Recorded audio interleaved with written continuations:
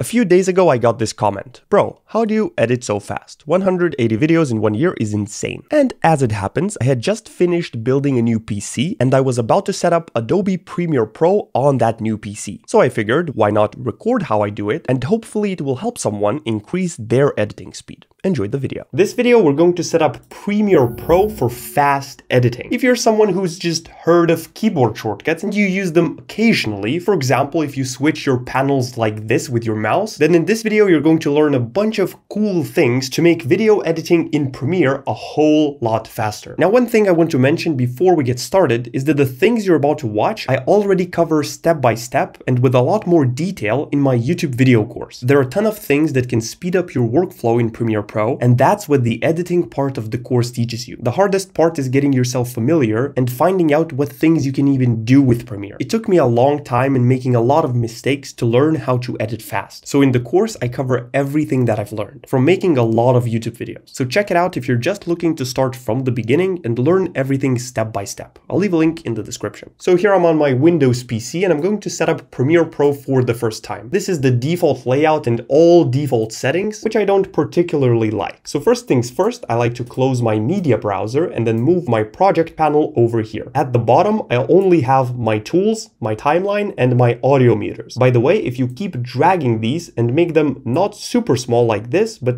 just a little bigger, it will show you the audio levels. Then I always have my program monitor over here in the center. This is where you can see where your video is playing. Let me actually import a video here. By the way, Pexels is a great free website if you want to quickly find some stock footage. You can go into videos and then type in what you want. And there are a bunch of interesting videos that you can download for free. Now I'm going to import it into this project and temporarily work with this clip. So first, let's finish up with the panels. If you don't see something that you want to see, you can go into window and obviously toggle the things things you want. So the things I want is effects, then effect controls, obviously. Next, I want Lumetri color, and I like to keep it over here on the right, but only at the right side of my program monitor, like this, so that the sequence takes up the whole bottom of the screen. I usually keep it quite small. Next, inside here, I like to have my essential graphics panel, which I also move next to Lumetri color. For some reason, it's not opening, and Premiere crashed. What a surprise. Oh, we are back. So I'm going to move it next to Lumetri color here, and now they're both here. And that's it. This is my layout. Next, let's go into edit. If you're on Mac, the settings will be under Premiere Pro and not under edit, and click preferences, or actually just click general. Here, there are quite a few things that I like to customize. First, in the appearance, I like to bring up the brightness just a little bit and increase the highlight and the focus indicator color. So everything becomes a little brighter. In the auto autosave section, I always change this location to be next to all of my Premiere projects. So for me, it's in this MISC PC folder. And inside of the Adobe Premiere Pro autosave, I'm going to save it. Basically pick a folder that you want. Next, inside of media cache, I always set automatically delete cache files after a certain amount of time. For me, it's 30 days because I rarely work on a singular project for more than 30 days. So it can get deleted. Now, the location of the cache is also inside of my C drive. So I always like to put it next to all of my projects. Again, I'm going to select my MISC folder. And here I choose move to move the existing cache to that location as well. Next, inside of memory, I generally reserve at least 5 gigabytes of RAM for other applications, and Premiere can have the remaining 26. In the timeline, I set my audio transition default duration from 1 second to 2 frames. That's because I like to add a cross dissolve between my sentences to make them end and begin slightly faster. That way there's no gap in between. I choose the timeline timeline playback auto scrolling to no scroll so that when the timeline leaves the screen, it doesn't immediately jump me to that location. It just continues playing the video and lets me do my thing on the timeline. Oh, I forgot media. I always set default media scaling to set to frame size. That way, when I import something into Premiere, it's automatically going to resize something to fit the whole frame. I don't have to resize it manually to fit the screen. This is really useful if you're doing a lot of screen recordings or tutorials where it's annoying to resize it every single time. Before we get to keyboard shortcuts, which is the most fun part that saves me the most amount of time, I'm going to quickly import my presets. So inside of presets, I'm going to click import presets, and then I'm going to choose my presets pack. This basically adds a bunch of things that I use, like a transform up preset, which nicely transforms a clip into frame like this, with a little bounce. We can add things like a deep fried preset, which is like a meme that deep fries it, or we can pile it on top as well. It gets worse and worse. You can do things like a basic 3D effect, which makes it look like the monitor is being recorded and it's slowly being zoomed out. Or a little bit of movement, so it moves the whole recording slightly. Or something like the transform up with smooth bounce, so it's going to come in nicely from the bottom.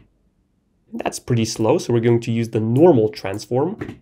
And then we can transform down here at the end. So when I finish drawing, it's going to go down. So these are some of the presets that I use. I'll leave a link to them in the description. And now let's move on to keyboard shortcuts. So if you want to copy most of my keyboard shortcuts, here they are in a nice spreadsheet. Of course, most of them will not make sense without me explaining the philosophy behind them, but if you want to copy them, here they are. So let's begin with the philosophy. The way I set my keyboard shortcuts, by the way, the shortcut to open keyboard shortcuts is Control Alt K or Command Option K on Mac. So the way I do it is I have all of my keyboard shortcuts easily accessible with my left hand. And a lot of default keyboard shortcuts are somewhere here. For example, Control K to add edit. To use this shortcut, and I use it multiple times every minute, I would have to always lift up my hand from my mouse and then move it to the keyboard to hit Control with my left hand and K with my right hand. And over time, this wastes so much time. Having to lift up your hand from your mouse and move it to the keyboard takes way longer than hitting two keys with your left hand. So let's begin remapping the keyboard shortcuts. The first one is actually Control K. Since you're going going to use this a lot. By the way, this is what it does. If you hover over a clip, you can press Control K and it splits these clips under your playhead. Or you can use this tool, which is also very slow because you have to constantly switch between your move tool and your cut tool. So instead of Control K, I use the letter S for this without any control. To easily add a shortcut to a key, you can search for it here. So add edit. Here you can see it's Control K and then drag it onto the letter you want. So now when I press S, it will immediately add a cut under my playhead which is so much faster than having to do it with Control K and moving your hand from the mouse. Next, we have D, and I use D to enable and disable a clip. By default, it's Shift E. So if I go into Shift E, it should be under Application Clip Enable. So I'm going to look for Application, then find Clip. This is File, Edit, Clip, and boom, there's Enable. So instead of Shift E, I'm going to drag it onto the letter D. And now when I have a clip highlighted, I can hit the letter D and it will disable it. Basically makes it invisible. It's a lot easier than going into this eye here and toggling the whole track off instead of one clip. Also, sometimes I might have a few versions of a clip and I want to toggle between one or the other. This makes it a lot lot easier than doing it with these eyeballs here. One more thing this is useful for is if you have a picture-in-picture -picture video. So let's say that this fish is making the video and we want to toggle between the full screen of this fish and a picture-in-picture -picture mode because this fish is sharing its screen. So we want to toggle between this and the full screen. What you can do in this case is have two layers of the fish, one sized down here and one sized fully, and then all of these clips linked with Command or Control L. And when you want to toggle into the picture-in-picture mode, you can add a cut with the letter S, then select the top layer and disable it. So now the fish is talking, and then when it starts sharing its screen, it's going to immediately toggle over here. Once it finishes its drawing, we can put it back into full screen mode. So that's what the enable command allows us to do easily. Say the fish said something funny here, so we can just D on this clip and maximize it on the screen and then go back to screen share. Beautiful. Next, there's one keyboard shortcut that's currently annoying me a lot, and it's the delete key or the backspace key. I always have it set to my letter F. So instead of having to go here to delete something, I can just click F with my left hand and delete something. So I look for delete. It should be under edit and it's actually called clear. So I'm going to drag it onto my letter F. Now when I add a cut, it's super easy to delete something with the letter F. Next, I have my X key set to ripple delete. By default, you can ripple delete something with Alt backspace. Again, the backspace key is on the right side of the keyboard, which means you'll have to move your your hand from your mouse to do it. And ripple delete is something that I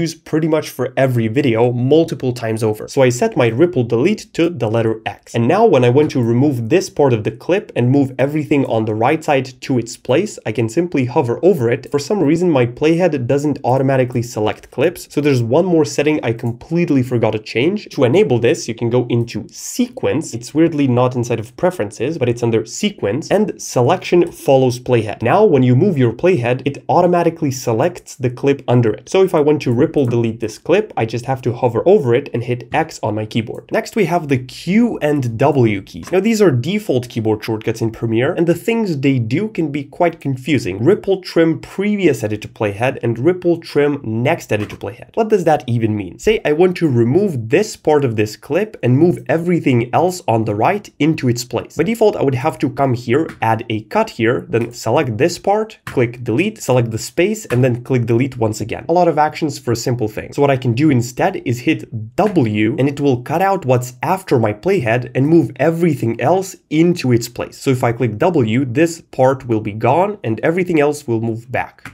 And Q is the opposite. If I want to remove the beginning of this clip and move everything into its place, I can hit Q and it will move in. The same thing for this clip. If I want to remove this part, I can hit W and it moved everything else into its place. Obviously, there was nothing to move. And if I want to remove the beginning here and move the rest of the clip into its place, I can hit Q. So these two I use every single time I edit a video. Now, these five I have mapped quite differently from what's here. So these days I have my one, two, and three keys mapped to shuttle left, shuttle stop, and shuttle right. If you press the L key, it will start playing your video, but if you hit the letter L twice, it will play double speed. And if you hit it one more time, it will go even faster and even faster. The same for the letter J. If you hit it once, it will go backwards at 1x speed, but if you keep hitting it, it will go faster. And the letter K stops. So to not have to move my hand from my mouse onto the J, K, and L keys, I've remapped these to 1, 2, and 3. Shuttle left goes on to 1, shuttle right goes on to 3 and shuttle stop goes on to number 2. Beautiful. Next we have Shift Z, Shift X and Shift C. Now it's really annoying to navigate every single panel like this with your mouse. Sometimes they get lost or you accidentally close them. So you can set a keyboard shortcut to immediately jump you to that panel even if it's closed. And the panels that I use most are projects. This is where all of my clips are. Then effects controls panel where I can control effects of a particular clip like zoom in with keyframes and so on. And then the effects panel where I can apply different effects. So I set Shift Z to go into my projects panel. It's over here under workspaces. By default, the shortcut is Shift 1, but it's quite far to reach. So I set it to Shift Z. Then Shift X to effect controls, which by default is Shift 5. That's really far away. So that's Shift X. And finally Shift C for the effects panel. By default, it's Shift 7, super far away. So now let's say I want to quickly zoom into this clip. Instead of coming over here and looking looking for the effect controls panel, I can hit Shift X and it immediately puts me there. Then I can start setting my keyframes and zooming into whichever part of the clip I want, which is really handy and really quick. I've remapped the caps lock key on my keyboard to be the backwards slash. And what the backwards slash does by default is it zooms out to the full sequence. So if you're zoomed in super far and you're doing something here, you can hit the backslash or the caps lock key for me, and it will zoom out to where you can see all the clips inside of your sequence. This is a default shortcut, Command Option V or Control Alt V to paste attributes. Of course, you have to copy attributes first. So see this zoom effect here. If I click Control C, select these clips and Control Alt V, I can paste in my motion attribute, which will paste the zoom in across each of these clips. So this one has a zoom in now, and this one should have a zoom in. This is really useful if you want to paste effects from one clip to another. I also use a lot of nested sequences in my project. So instead of having to right click and nest every time, I've set my nest keyboard shortcut to be the letter N. Now when I click N, it will immediately nest the sequence. V is the default shortcut for the move tool. A is the default keyboard shortcut for the track select forward tool. M to add a marker. These are just shortcuts that I use a lot. Now this is really useful. When you're zooming into a clip or doing something with keyframes, sometimes you want the zoom in to happen smoothly. So what you typically do in that case is select keyframes, right click, temporal interpolation, and ease in for the last keyframes, and then right click, temporal interpolation, and ease out for the first keyframes. Now the zoom in eases in and out. It happens a lot smoother. If I increase the gap between the keyframes, you should be able to see it better.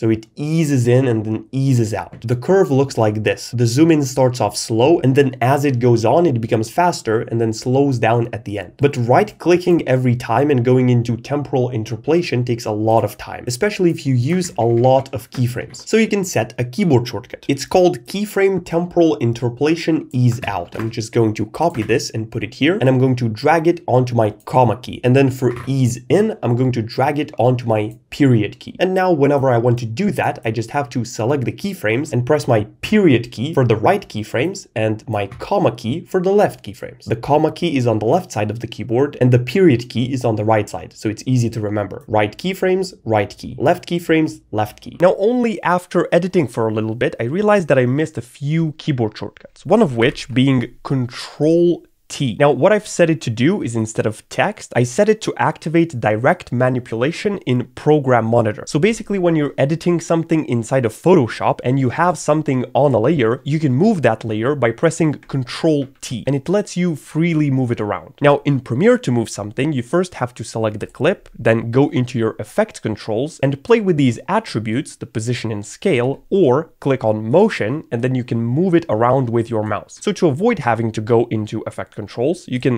select a clip and click Control T and it will immediately activate it here and you can resize and move it around just with your mouse. So that's what the activate direct manipulation in program monitor means. Now one more keyboard shortcut that I've set is Control Shift F to add a frame hold. Now, when you have something like a screen recording, like for example here, and you want to pause on a specific part, let's say I wanted to pause over here. What you can do in that case is split the clip because this is the ending and something else is happening. I'm going to move it over there. And let's say I want to include this here in this gap. So one option is to click this icon to export a screenshot. I'll choose my desktop as the path and format as JPEG. And then from your desktop, import the image here and then fill it in the middle. So now this just continues, but this takes quite a bit of time because you have to take the screenshot and import it back again. So what you can do in that case is come here, select the clip and click the shortcut that I just mentioned, Control Shift F or right click and add frame hold. What this will do is it will freeze everything after my playhead on this clip. So if I click Control Shift F, it added a cut here and now I can freely move this around and extend it to however long I want and the middle here will not move. It will be frozen. I use this a lot for when I do screen recordings, so it's a really useful keyboard shortcut for me. Of course, it can sometimes work with just videos. If I wanted to freeze right here, I click Command Shift F and now everything after my playhead is frozen frozen. So this will be a frozen frame. I can make it longer or shorter, no matter the actual duration of this clip. Now, like I said in the beginning of this video, I go over all of these things and with a lot more detail inside my video course. It has everything related to creating and editing videos for YouTube in one single place. So if you want a complete step-by-step -step beginner's guide on how to get strangers to watch your stuff, you can get it by clicking the link in the description. You'll not only get to know your way around Adobe Premiere Pro, but also the philosophy behind YouTube thumbnails learn how to fix voiceovers and audio, because audio is 80% of the video, you'll not only get that, but also a bunch of material on how to play the YouTube game that will help you find your unique niche, make solid intros, learn to tell stories, and all of the other things a beginner YouTuber would need to have the best possible odds of succeeding when starting a new channel. So once again, if you want a complete knowledge pack in one single place that you get access to forever and can come back to whenever you want, go over to the link in the description to enroll. Thank you so much for watching and I'll see you in the next one.